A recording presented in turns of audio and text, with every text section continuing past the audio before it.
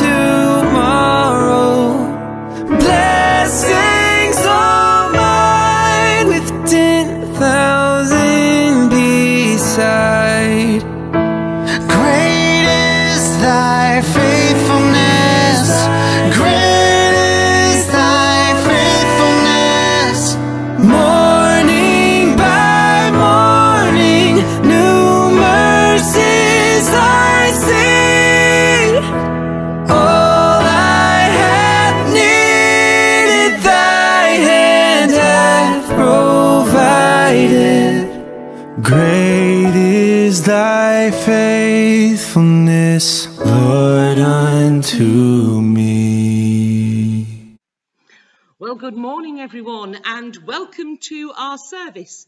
As you can see, we are here in Bury Brown Methodist, Methodist Church this week, which is where our service is on Sunday. So it's great to be with you here online as well. Our service will be a little bit of a mixture between our own service and the Methodist service, but it just makes it interesting, doesn't it? So let's worship God together.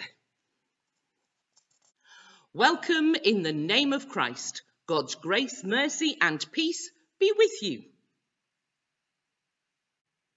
So now we're going to sing our first hymn, and our first hymn this morning is O Worship the King. Let's sing this together.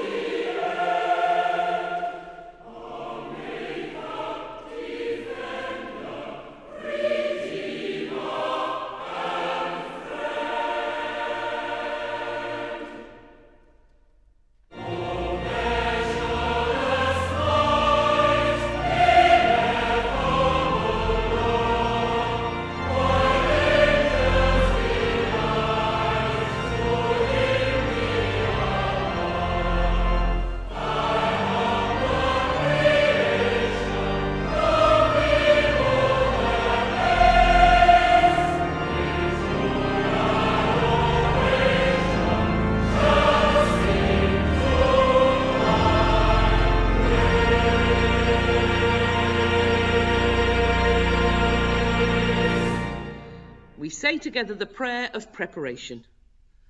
Almighty God, to whom all hearts are open, all desires known, and from whom no secrets are hidden.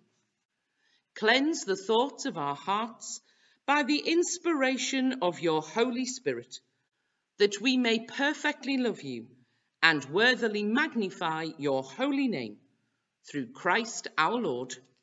Amen. And so, as always, when we come to worship God, we need to give him those things that separate us from him, that stop us from having that right relationship with him. Maybe things that we've said and done, or things that we've forgotten to do. So let's bring them to mind and just imagine laying them at the foot of the cross as we give them to God.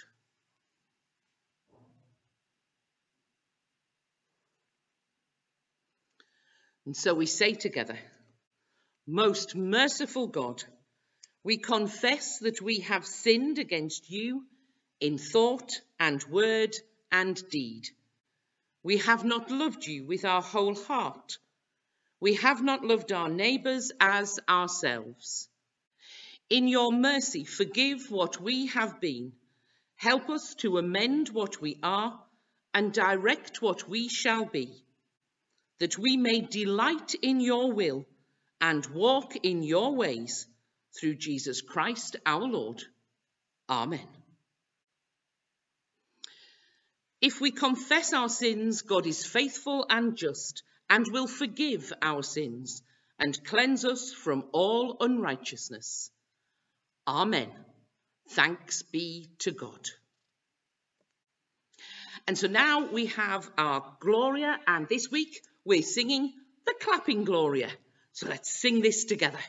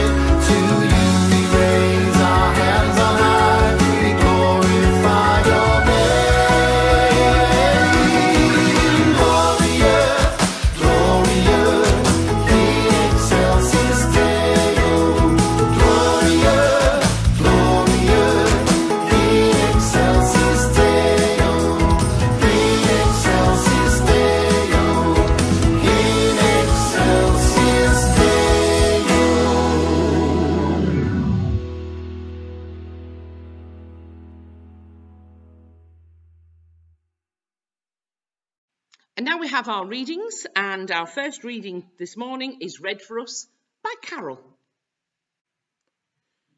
The reading is taken from Hebrews chapter 5, verses 1 to 10. Every high priest is selected from among men and is appointed to rep- represent them in matters related to God, to offer gifts and sacrifices for sins.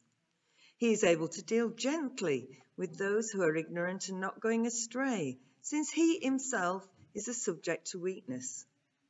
This is why he has to offer sacrifices for his own sins as well as for the sins of the people. No one takes this honour upon himself.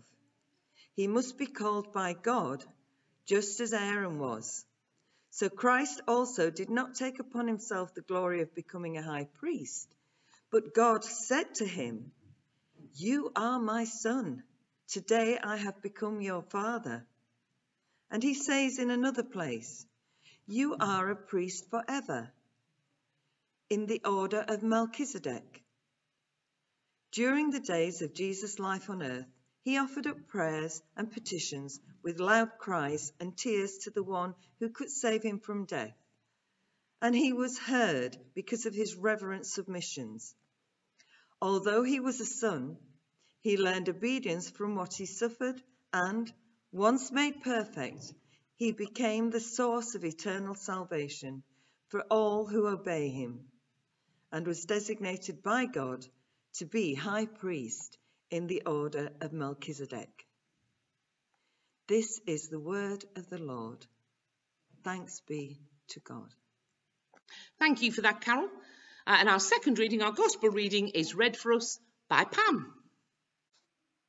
A reading from the Gospel according to Mark, chapter 10, verses 35 to 45.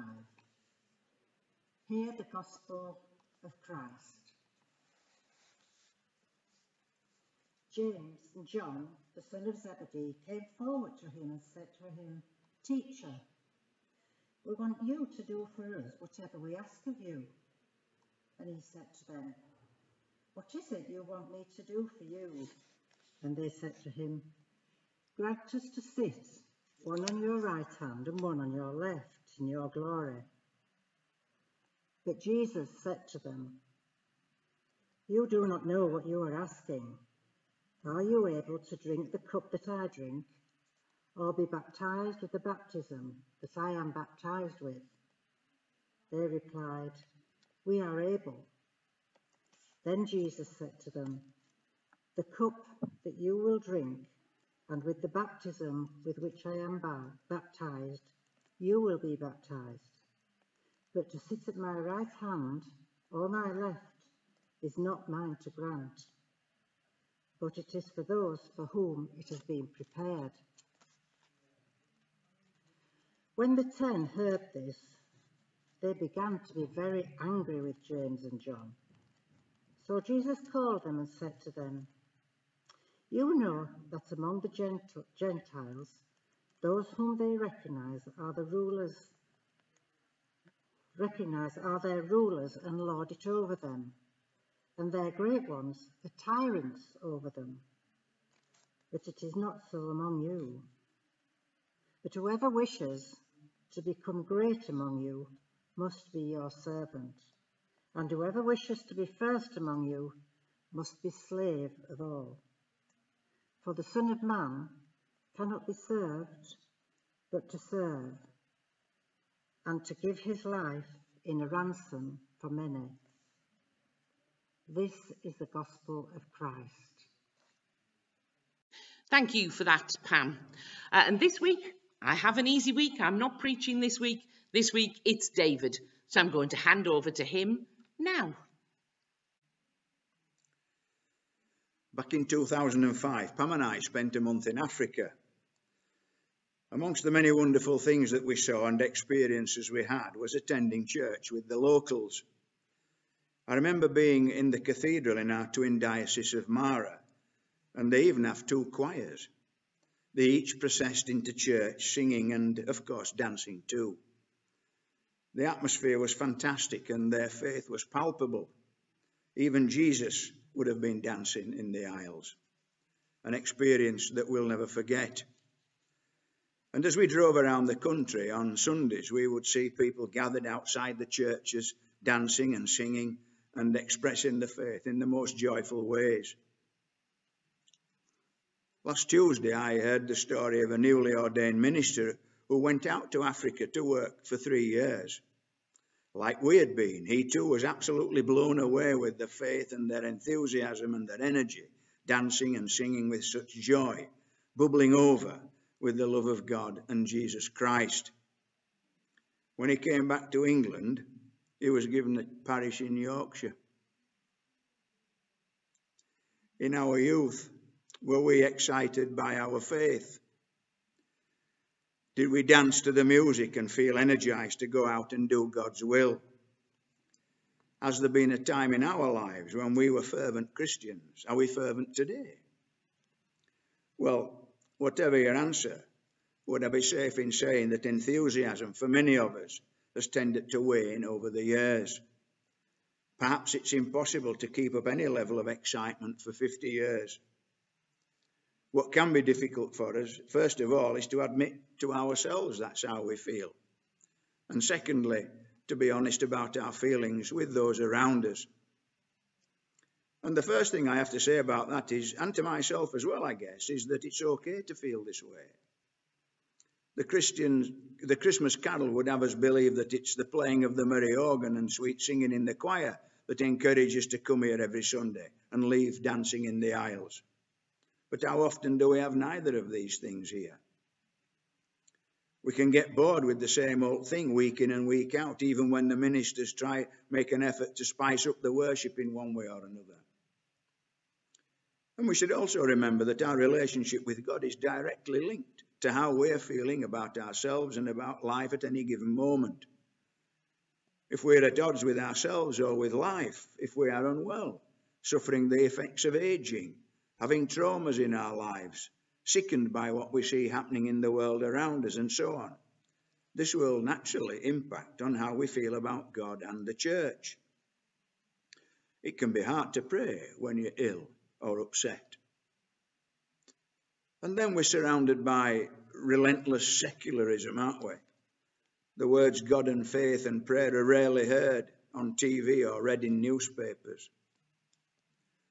I remember Stephen Fry being interv- interviewed on Irish television, and the interviewer asked him what he would say to God. And he said this brain cancer in a child? How dare you? How dare you create a world so full of injustice and pain? Difficult to maintain our faith when confronted with outbursts like that. We can watch beautiful programs by the likes of Sir David Attenborough, showing us the startling beauty of God's creation, and yet he never gets a mention. And the church? What about the church, whatever denomination?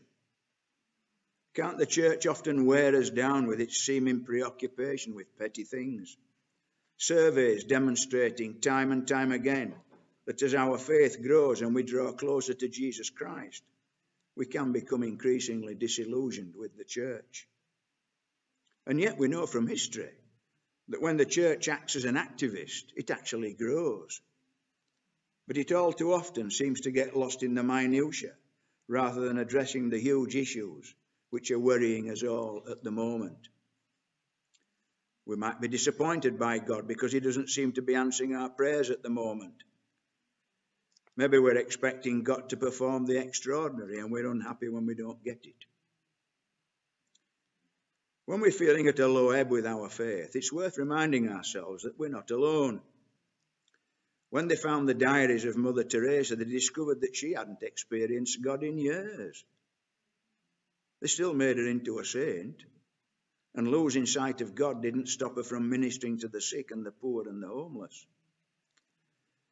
The famous Christian writer Henri Nouwen admitted that for him, prayer had become a problem as he got older, and yet he'd written more books on prayer than he can shake a stick at.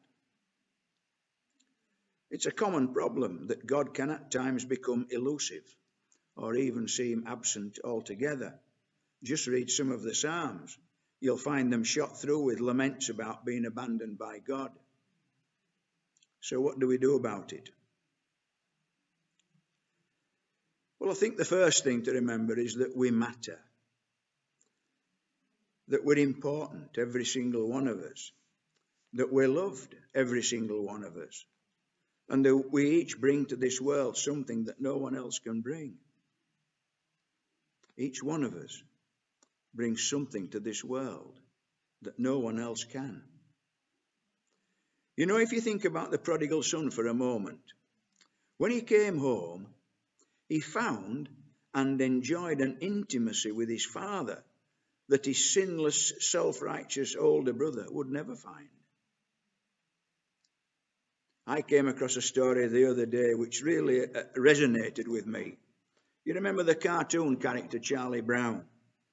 He comes to visit his friend Lucy, and, and she's in a pretend fortune teller's tent at the local summer fair. So Lucy tells Charlie that life is like a cruise liner. Some people put the deck chairs up at the back of the ship and look back at where they've come from. Others like to pitch up their deck chairs at the front of the ship so they can look ahead at where they're going. But what about you, Charlie Brown, says Lucy. Where on the cruise ship of life do you put your deck chair up? There's a long bemused pause, and then Charlie replies, Heck, Lucy, I don't even know how to put my deck chair up. And Mother Superior, Mother Clare, Mary Clare of the Sisters of the Love of God says, and I told this story the last time I preached, when you go before God in prayer, you can't leave anything behind. You carry in your heart every person, every incident, every thought, every feeling you've ever had. And you lay yourself before God. So you bring all the mess as well. And my prayer, she says, is, is really one sentence. Here I am, Lord. What a mess. Don't you just love that prayer? Here I am, Lord. What a mess. It's worth remembering that not once did Jesus scan the room for the best example of holy living and then send that person out to tell others about him. He always sent stumblers and sinners, and I find that really comforting. In fact, in today's reading, we get a good example when his followers, James and John, got it completely wrong even after spending three years with Jesus. And yet they remained his disciples. In fact, if you read the same account in Matthew's Gospel, you find that Matthew was so embarrassed about their behavior that he tells us it's their mother Salome who asks Jesus if they can hold positions of power, deflecting the blame from, their, from her sons. So, this is it.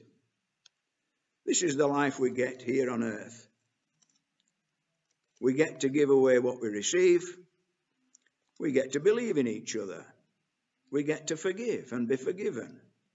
We get to love imperfectly. And we never know what effect it will have for years to come. And all of it, all of it, is completely worth it. And sometimes the fact that there's nothing about you that makes you the right person to do something is exactly what God's looking for. What makes us the saints of God is not our ability to be saintly, but God's ability to work through sinners. And a good question to ask is this How did Christianity become so tame and respectable when it all began with prostitutes and drunkards and tax collectors? Jesus comes not for the super spiritual, but for the nobly and weak need, who know they don't have it all together, who are not too proud to accept the handout of amazing grace. And as we glance up, we're astonished to find the eyes of Jesus open with wonder, deep with understanding, and gentle with compassion. Amen. Well, thank you for that, David. Very inspiring. Thank you. So, as we think about what David has just said, and maybe, I don't know, the story about the deck chair, I don't find it easy to put up a deck chair. So, maybe as we think about how difficult it is sometimes to just find our right way through life, let's declare our faith in God, Father, Son, and Holy Spirit. So, do you believe and trust in God the Father? I believe in God, the Father Almighty, creator of heaven and earth. Do you believe and trust in his Son, Jesus Christ?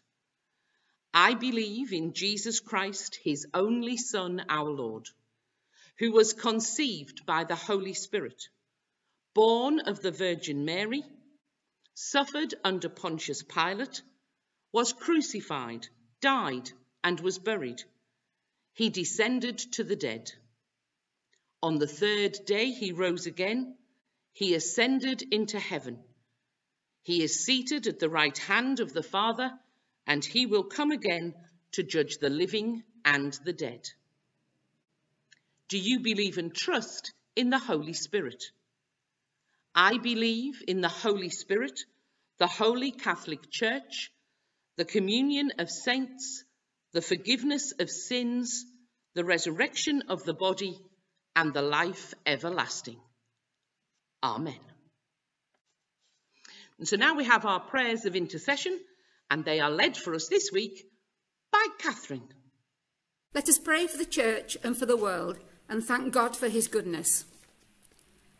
Heavenly Father, open our eyes to your presence. Increase our sense of purpose. Stretch our capabilities. That we may grow in your service to you through Jesus Christ our Lord, who with you in the unity of the Holy Spirit are one God forever. Amen. We pray for your church, for all Christian people, for those persecuted because of their faith. Make us a serving church, a giving church, a loving church, and a living church. Bless all who lead our worship. Send your Holy Spirit to give vision to our planning, wisdom to our action, and power to our witness. During these times of challenge and change, help us to listen to you as you show us the way ahead. Lord, in your mercy, hear our prayer. Heavenly Father, we lay before you all the difficulties which plague our world today. Political issues, moral dilemmas, our dreams and prayers for peace, integration, and equality. Our concern for all who share the earth's resources. Help us to be good stewards and share all that you provide. We pray for the world's poor, for the homeless, the displaced persons, the street dwellers. And we pray for all those striving to help those most in need. Lord, in your mercy, hear our prayer. And we pray for our families and friends and neighbours, and for those who have no one to pray for them, for our wider community, for those providing employment, those who are employed, for those with caring responsibilities, and our many volunteers. Be a strength to all who are finding life tough at the moment, those with difficult decisions to make, employment, financial problems, broken relationships. Make us sensitive to one another and to each other's needs. And we pray for all ill in body, mind, and spirit. Surround all with comfort and reassurance. Let them know of your love and care for them. So, in a moment of quiet, let's just pray for those on our hearts and minds.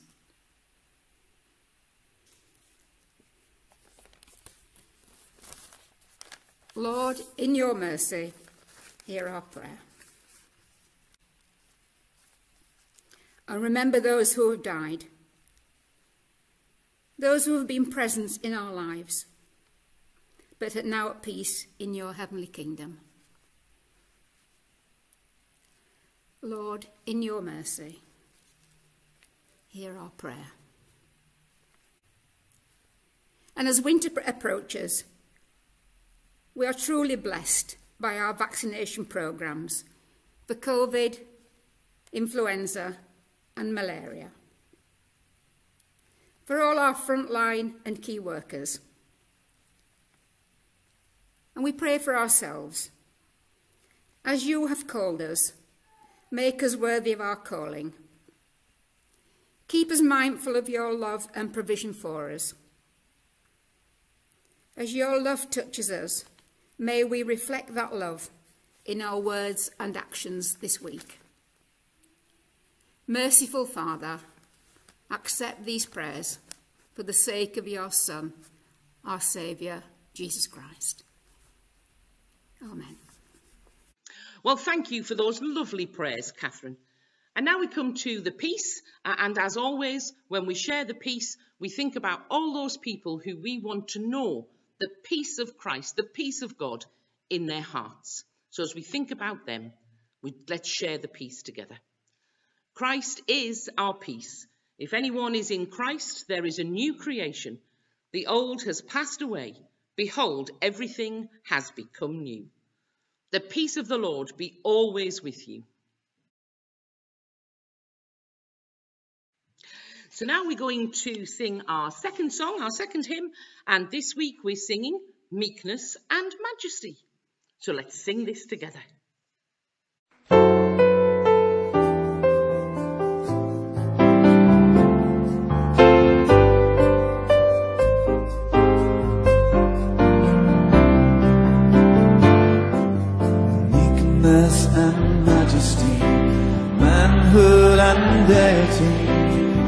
Perfect harmony, the man who is God, Lord of eternity, dwells in humanity, kneels in humility, and washes our.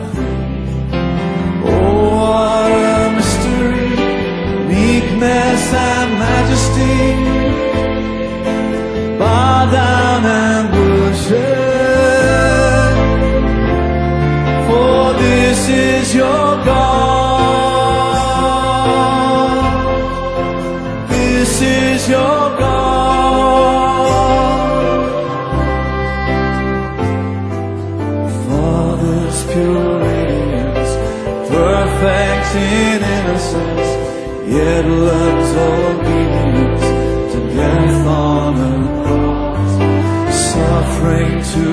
us life, conquering through sacrifice, and as they crucify,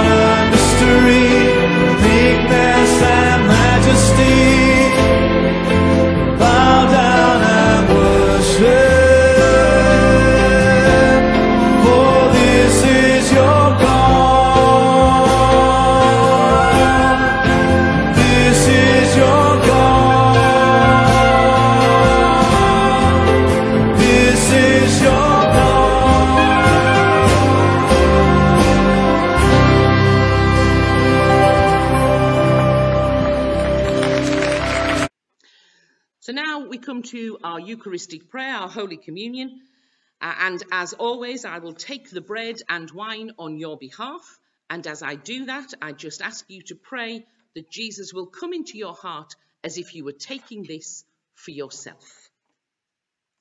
The Lord is here. His Spirit is with us. Lift up your hearts. We lift them to the Lord. Let us give thanks to the Lord our God. It is right to give thanks and praise. It is indeed right. It is our duty and our joy at all times and in all places to give you thanks and praise, Holy Father, Heavenly King, Almighty and eternal God, through Jesus Christ, your Son, our Lord. Therefore, with angels and archangels and with all the company of heaven, we proclaim your great and glorious name, forever praising you and saying, Holy, holy, holy Lord, God of power and might, heaven and earth are full of your glory. Hosanna in the highest. On the night he was handed over, Jesus had a meal with his friends. He took a loaf of bread, and after giving thanks to God, he broke it and gave it to his disciples, saying, Take, eat. This is my body, which is given for you. Do this in remembrance of me. After supper, Jesus took the cup of wine, and after giving thanks, he gave it to them and said, Drink this, all of you. This is my blood of the new covenant, which is shed for you and for many for the forgiveness of sins. Whenever you drink it, remember me. And so now our Lord's Prayer is led by members of our congregations. Let's pray. Our Father in heaven, hallowed be your name. Your kingdom come, Your will be done, on earth as in heaven.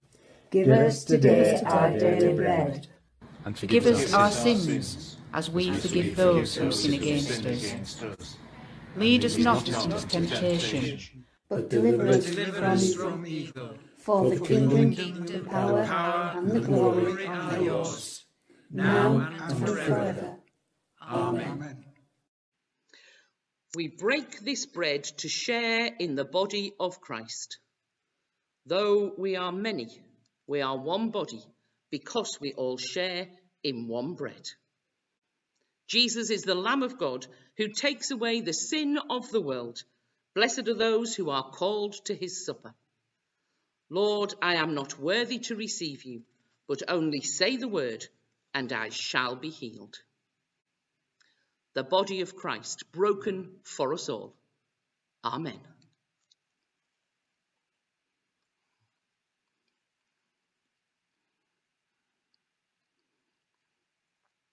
The blood of Christ shed for us all.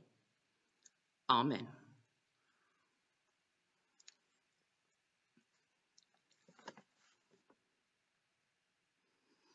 So let's say this prayer together.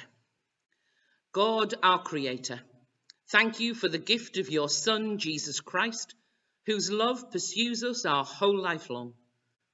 Thank you, Jesus, for giving your life to us in word and deed, even unto death, even death on a cross.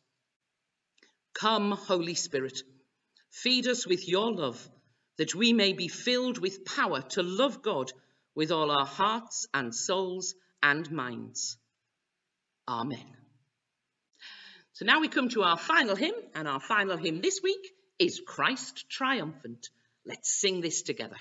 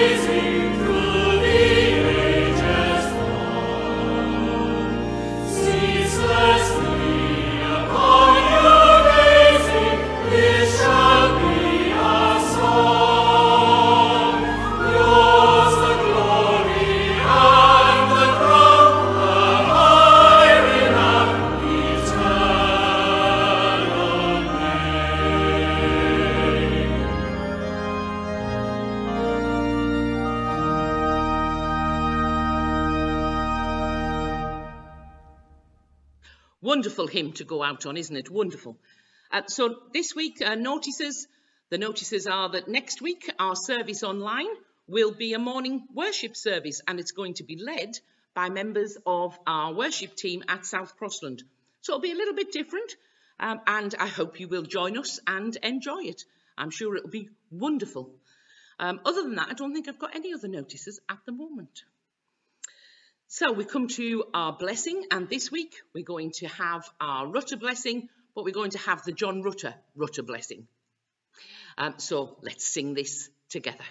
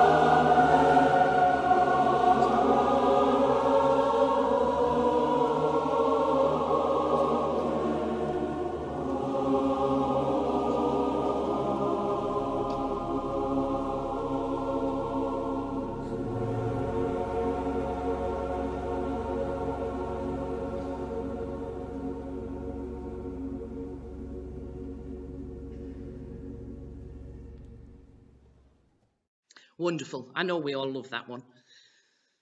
So, as our service comes to an end, go in peace to love and serve the Lord. In the name of Christ. Amen.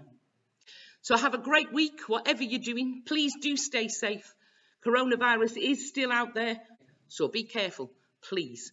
Uh, and I hope you enjoy our closing song, and I'll see you again next week. Bye for now.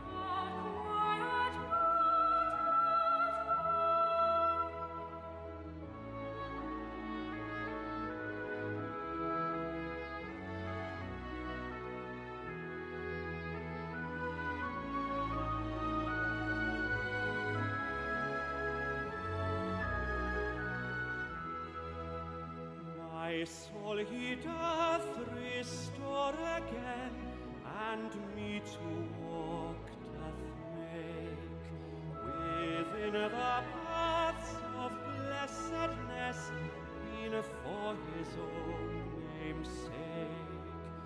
Within the paths of blessedness, in for his own